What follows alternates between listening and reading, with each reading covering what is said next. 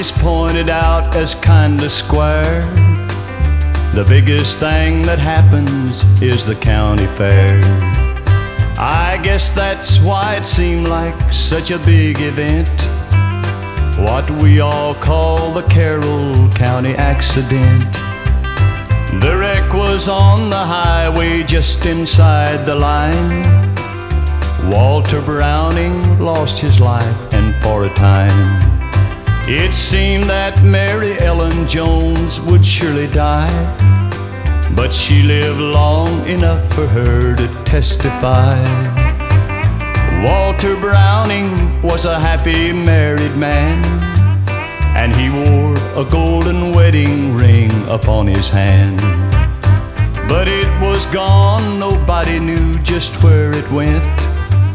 He lost it in the Carroll County accident. Mary Ellen testified he flagged her down. Said he was sick and could she drive him into town. No one even doubted what she said was true.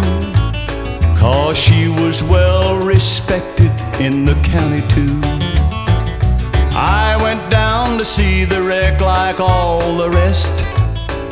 The bloody seats, the broken glass, the tangled mess. But I found something no one else had even seen. Behind the dash in Mary's crumpled up machine. A little matchbox circled by a rubber band.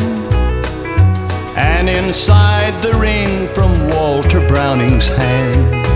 It took a while figure out just what it meant. The truth about the Carroll County accident. By dark of night, I dropped the ring into a well and took a sacred oath that I would never tell. The truth about the Carroll County accident. Cause the county ordered Dad a marble monument.